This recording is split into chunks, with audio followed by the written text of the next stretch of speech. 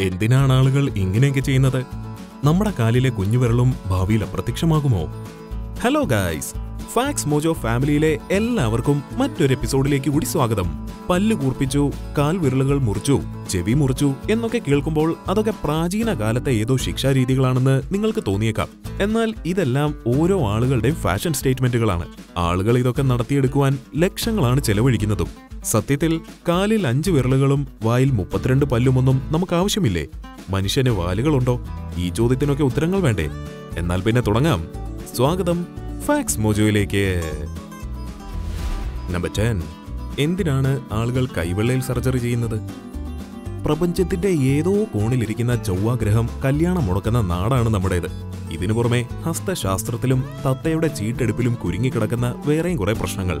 എന്തായാലും നമ്മുടെ കൈരേഖകൾക്ക് ജീവിത വിധിയെ സ്വാധീനിക്കാൻ കഴിവുണ്ടെന്ന് വിശ്വസിക്കുന്നവർക്ക് നേരെ ജപ്പാനിലേക്ക് പോകാം. അവിടെ കൈരേഖകൾ കറക്റ്റ് ചെയ്യുന്ന സർജറി ലഭ്യമാണത്രേ. ജപ്പാനിലെ ആളുകൾ കൈരേഖകൾക്ക് മനുഷ്യന്റെ ജീവിതത്തെ സ്വാധീനിക്കാനുള്ള കഴിവുണ്ടെന്ന് വിശ്വസിക്കുമ്പോൾ തന്നെ അത് കറക്റ്റ് ചെയ്യാൻ ഒരു ഡോക്ടറിനെ കാണാൻ പോലും മടിയില്ലാത്തവരാണ്. ഇതിന് എഴുപതിനായിരം രൂപയോടടുത്ത് ചെലവ് വരും. ഇത് ചെയ്യുന്നതാകട്ടെ ഒരു യഥാർത്ഥ ഇലക്ട്രിക് സ്കാൽപ്പ് ഉപയോഗിച്ചാണ്. വളരെ കുറച്ച് സമയത്തിനുള്ളിൽ അതായത് ഏകദേശം ഒരു പതിനഞ്ച് മിനിറ്റിനുള്ളിൽ തന്നെ ഡസൻ കണക്കിന് രേഖകൾ ഡോക്ടർ ശരിയാക്കി തരും. കല്യാണമോ കുഞ്ഞുങ്ങളോ സന്തോഷകരമായ ഭാവി ജീവിതമോ എന്ത് വേണമെങ്കിലും വരച്ച് സെറ്റാക്കി തരും. നമ്പർ നയൻ ഇവരെന്തിനാണ് ചെവി മുറിക്കുന്നത്? ഇത് വെറുമൊരു ക്ലിക്ക് ബേറ്റ് തന്ത്രമല്ല കേട്ടോ. റഷ്യയിൽ ഈയിടെയായി തങ്ങളുടെ ചെവി മുറിക്കണമെന്ന് ആവശ്യപ്പെട്ട് സർജന്മാരെ സമീപിക്കുന്ന ആളുകളുടെ എണ്ണം കൂടി വരുന്നുവത്രേ. ഇതൊക്കെ എന്തിനാണെന്നാവും നിങ്ങളിപ്പോൾ സ്വാഭാവികമായും ചിന്തിക്കുന്നത്. നിങ്ങൾ പ്രൊഫഷണൽ റെസ്ലർമാരുടെ ചെവി ശ്രദ്ധിച്ചിട്ടുണ്ടോ? വർഷങ്ങളായുള്ള ഇടിയുടെ ആക്രമണത്തിന്റെ ഫലമായി ക്ഷതമേറ്റാണ് ഇവരുടെ ചെവി ഈ രീതിയിലാകുന്നത്. ഇവരുടേത് കോളിഫ്ലവർ ചെവി എന്നാണ് അറിയപ്പെടുന്നത്. ചെവിക്ക് ക്ഷതമേൽക്കുമ്പോൾ ബ്ലഡ് ക്ലോട്ട് ആവുന്നതാണ് ഇതിന് കാരണം. ഇത് പിന്നീട് കോളിഫ്ലവറിന്റേത് പോലുള്ള മടക്കുകളായി കാണപ്പെടുന്നു. എന്നാൽ ഇത് കാണുന്ന മറ്റു ചിലർക്ക് ശാരീരികമായി കഷ്ടപ്പെടാതെ തന്നെ കുറെ കൂടി പൗരുഷത്തോടെ കാണപ്പെടണമെന്ന് തോന്നാറുണ്ട്. അവരാണ് ഇത്തരം സർജറികൾ ചെയ്യുന്നത്. ഇത് തന്നെ ഇടത് ചെവിയിൽ ചെയ്യുവാൻ കാശ് കൂടുതലാണത്രേ. ഇതിന്റെ കാരണം പാസ് ചെയ്തു പോകുന്ന ഡ്രൈവർമാർക്ക് ഇടത് ചെവി കാണുവാൻ കഴിയുമെന്നതുകൊണ്ടാണ്. ഇത് പ്രകാരം നമ്മുടെ നാട്ടിലാണെങ്കിൽ വലത് ചെവിക്കാവും കാശ് കൂടുതൽ ചെലവാകുക അല്ലേ? Number eight. എന്തിനാണ് ആളുകൾ ബാർകോഡ് ടാറ്റു ചെയ്യുന്നത്? പലതരം ടാറ്റുകൾ കണ്ടിട്ടുണ്ടാവും. ചില മനുഷ്യർ തങ്ങളുടെ ശരീരത്തിൽ ബാർ കോഡുകൾ പോലും ടാറ്റു ചെയ്യാൻ തയ്യാറാകുന്ന എക്സ്റ്റന്റ് വരെ കാര്യങ്ങൾ എത്തിയിരിക്കുകയാണ്. ഇന്റർനെറ്റ് പേജുകളിലേക്ക് നയിക്കുന്ന ക്യു ആർ കോഡുകൾ ടാറ്റു ചെയ്ത ആരെങ്കിലും പറ്റി നിങ്ങൾ കേട്ടിട്ടുണ്ടോ? ഇവിടെ ഈ മനുഷ്യൻ തന്റെ ഇൻസ്റ്റാഗ്രാം പേജിന്റെ ക്യു ആർ കോഡാണ് കഴുത്തിന് പുറകിൽ ടാറ്റു ചെയ്തിരിക്കുന്നത്. ഇനി മറ്റൊരു സോക്കർ ഫാനായ മനുഷ്യന്റെ അവസ്ഥ അറിയണോ? പുള്ളി തനിക്കിഷ്ടപ്പെട്ട ടീമിന്റെ ബെസ്റ്റ് ഗോൾസ് കമ്പൈൽ ചെയ്ത വീഡിയോസിലേക്കുള്ള ലിങ്ക് ടാറ്റു ചെയ്തിരുന്നു. യൂട്യൂബ് ആകട്ടെ ആ വീഡിയോ റിമൂവും ചെയ്തു. ടാറ്റു അത്ര പെട്ടെന്നൊന്നും ആയില്ലല്ലോ. ചുരുക്കത്തിൽ അത്തരം അറ്റംപ്റ്റ് നടത്തുന്നവർ ഈ ക്യു ആർ കോഡുകളൊന്നും ലാസ്റ്റ് ചെയ്യില്ല എന്നത് ഓർത്താൽ നന്ന്. എന്തായാലും നിങ്ങളുടെ ടാറ്റു എന്താണെന്ന് കമന്റ് ചെയ്യുവാൻ മറക്കരുതേ. നമ്പർ സെവൻ എന്തുകൊണ്ടാണ് എളുപ്പത്തിൽ ഇക്കിളി നിർത്താനാകാത്തത്? ഈ ഇക്കിൾ മാറാൻ ഞാൻ ഇത്തിരി വെള്ളം കുടിക്കട്ടെ. ഔ എന്തൊരാശ്വാസം. ചിലപ്പോഴെങ്കിലും ഇക്കൾ തുടങ്ങിക്കഴിഞ്ഞാൽ എളുപ്പത്തിൽ നിർത്താനാകാതെ വരാറില്ലേ? ഇതെന്തുകൊണ്ടാണെന്ന് ചിന്തിച്ചിട്ടുണ്ടോ? ഇത് ചില പരിണാമങ്ങളുടെ ഭാഗമായിട്ടാണെന്ന് ചില നിഗമനങ്ങളുമുണ്ട്. ഒരു തിയറി പറയുന്നത് ഇക്കിളിന് ഇപ്പോൾ പ്രത്യേകിച്ച് ഒരു ഉപയോഗവും ഇല്ലെന്നാണ്. പിന്നെയും നമുക്കതുണ്ടാകുന്നതിനുള്ള കാരണം നമ്മളും ആംഫിബിയൻസിൽ നിന്നും വന്നതുകൊണ്ടാണ്. കാരണം കരയിലും വെള്ളത്തിലും ജീവിക്കുന്ന അവയ്ക്ക് ശ്വാസകോശങ്ങളും വെള്ളത്തിനുള്ളിൽ പോയാൽ ശ്വസിക്കുവാൻ കഴിയുന്ന ചെകിളപ്പൂക്കളുമുണ്ട്. അവ വെള്ളത്തിലായിരിക്കുമ്പോൾ ശ്വാസകോശത്തിലേക്ക് വെള്ളം കയറാതിരിക്കുവാൻ അവയുടെ ക്ലോട്ടീസ് അടയ്ക്കപ്പെടും. നമ്മുടെ ശരീരത്തിലും അങ്ങനെ ഒരു ക്ലോട്ടീസ് ഉണ്ടല്ലോ. ഇത് ഇക്കിളുണ്ടാകുമ്പോഴും സംഭവിക്കുന്നുണ്ട്. പക്ഷേ നമ്മളിപ്പോൾ വെള്ളത്തിൽ ജീവിക്കാത്തത് കൊണ്ട് തന്നെ നമുക്ക് ഗ്ലോട്ടീസിന്റെ ആവശ്യമില്ലെന്ന് ചിന്തിക്കാമല്ലോ. ഇക്കിൾ കൊണ്ട് യാതൊരു പ്രയോജനവും ഇല്ലെങ്കിൽ പിന്നെ അങ്ങനെ ഒരു സംഭവം തന്നെ വേണ്ടായിരുന്നു അല്ലേ?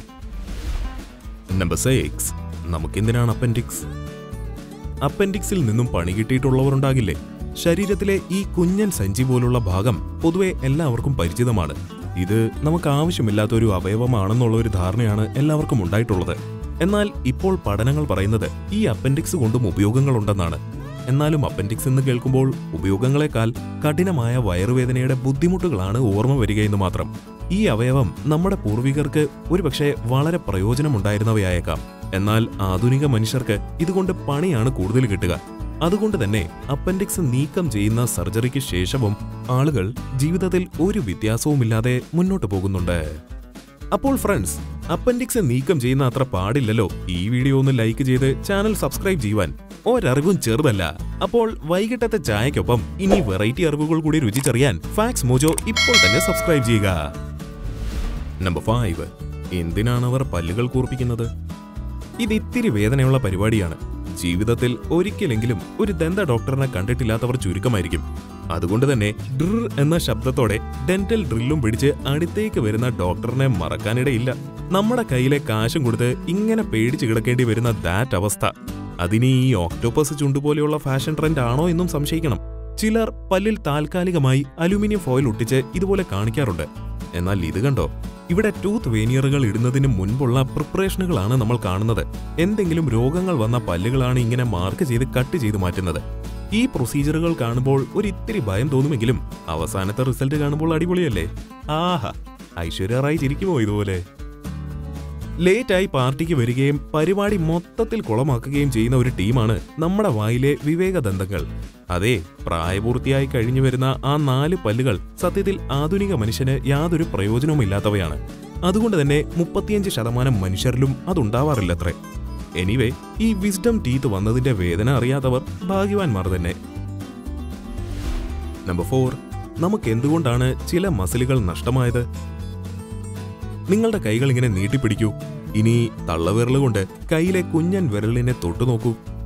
ഇപ്പോൾ കൈത്തണ്ടയിൽ ഒരു വര പോലെ ഒരു ഭാഗം തെളിഞ്ഞു വരുന്നില്ലേ?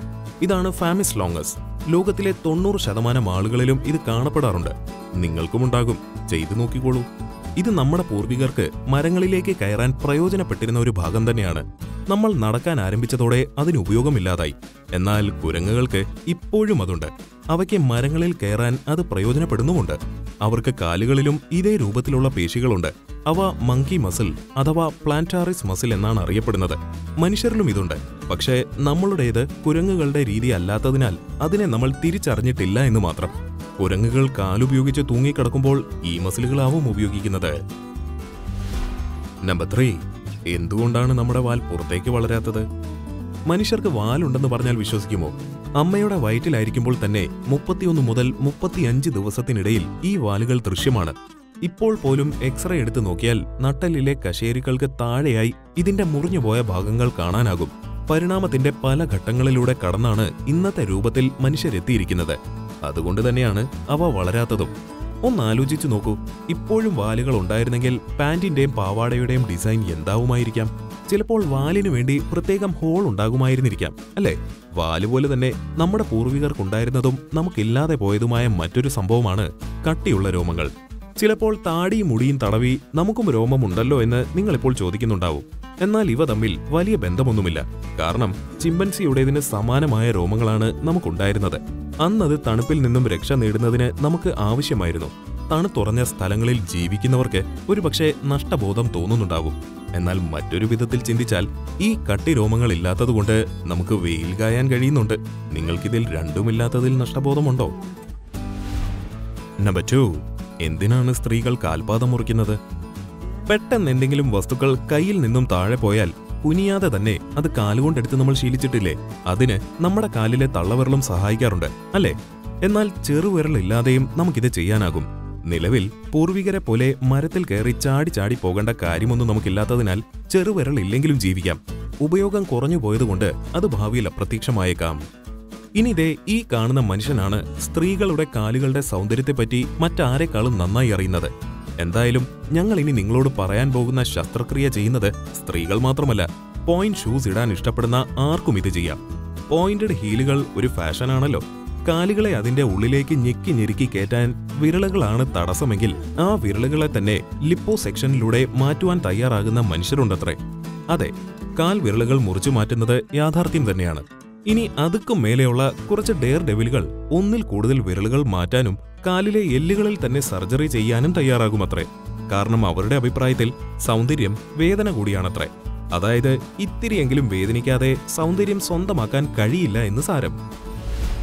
നമ്പർ വൺ അവർക്കെന്തിനാണ് താടിയൽ എക്സർസൈസർ കെയ്ലിയുടേതും മർഫിയുടേതും പോലുള്ള താടിയല്ലുകൾ വേണമെന്ന് നിങ്ങൾ ആഗ്രഹിച്ചിട്ടുണ്ടോ? എന്നാൽ കുറച്ച് ഡോക്ടർ ടിക്ടോക്കർമാർ ഇതിനു വേണ്ടിയും നല്ലൊരു ഐഡിയയുമായി മുന്നോട്ട് വന്നിട്ടുണ്ട്. അവർ പറയുന്നത് ദേ ഇതുപോലൊരു ഐറ്റം വായിലിട്ട് ചവച്ച് ഇങ്ങനെ വ്യായാമം ചെയ്താൽ താടിയെല്ലുകൾ ഇതുപോലെ വളരുമെന്നാണ്. ഇതൊരു റബ്ബർ ബോളാണ്. ഇതിന്റെ നിർമ്മാതാക്കൾ അവകാശപ്പെടുന്നത് മൂന്ന് മാസം ഇതിങ്ങനെ വായിലിട്ട് വെച്ചാൽ ആർക്കും അപ്പോളോയുടേതുപോലുള്ള താടിയെല്ലുകൾ ഉണ്ടാകുമെന്നാണ്. നമ്മുടെ മുൻഗാമികളെ അപേക്ഷിച്ച് നമ്മൾ വളരെ കട്ടി കുറഞ്ഞ ഭക്ഷണം കഴിക്കുന്നതുകൊണ്ടാണ് നമ്മുടെ താടിയെല്ലുകൾ വളരാത്തതെന്നും ഈ വ്യായാമം അത് തിരിച്ചുകൊണ്ട് വരുമെന്നാണ് ഇതിന് ട്രെയിനിങ് നൽകുന്നവരുടെ അഭിപ്രായം. എന്നാൽ ഡോക്ടർമാർ ഈ അഭിപ്രായത്തോട് യോജിക്കുന്നില്ല. അത് ധാരാളം ആരോഗ്യ പ്രശ്നങ്ങളും വേദനയും ഉണ്ടാക്കുമെന്നവർ വെളിപ്പെടുത്തുന്നു. ഇതേ സമയം ഇന്റർനെറ്റിൽ ഇതുമായി ബന്ധപ്പെട്ട് ധാരാളം ഫേക്ക് തെളിവുകൾ നിരത്തുന്നവരുമുണ്ട്. അതെ ഫേക്ക് വിവരങ്ങളെ കരുതിയിരിക്കുക. എന്തായാലും നിങ്ങളെ ഏറ്റവും അധികം ത്രസിപ്പിച്ച ഫാക്ട്സ് ഏതാണെന്ന് താഴെ കമന്റ് ബോക്സിൽ അറിയിക്കുക. ഇതുപോലുള്ള കൗതുകങ്ങളും അറിവുകളും നിറഞ്ഞ വീഡിയോകളുമായി നമുക്ക് വീണ്ടും കാണാം. അതുവരേക്കും നന്ദി.